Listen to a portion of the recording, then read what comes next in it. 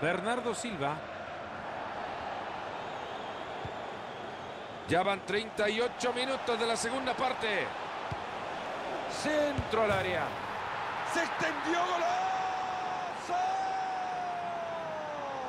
¡Vaya técnica! Acrobática definición para quedarse con uno de los mejores goles que verán en mucho tiempo. Por favor, señores. ¡Qué centro! Por eso lo vamos a repetir. La verdad que hay que tener sangre fría, ¿eh? Porque la verdad que tuvieron una paciencia espectacular para romper ese aparato defensivo y conseguir el gol.